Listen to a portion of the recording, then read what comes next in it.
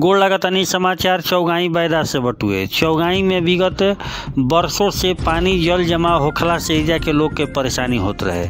जेकरा के लेके भोजपुरिया समाचार एक खबर के आधा घंटा के एपिसोड चलेलस।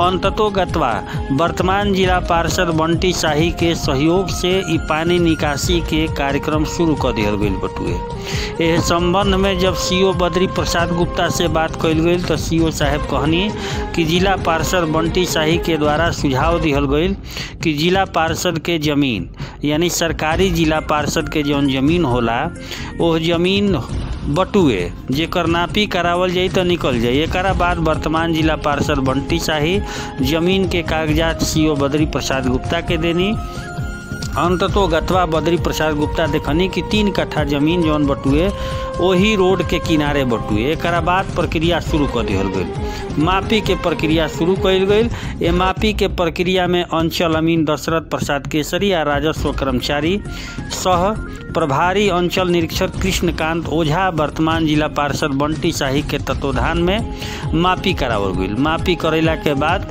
सत्रह डिसमिल ज़मीन ओइजा मिलल जौना के लोग अतिक्रमण कर लेले रहन।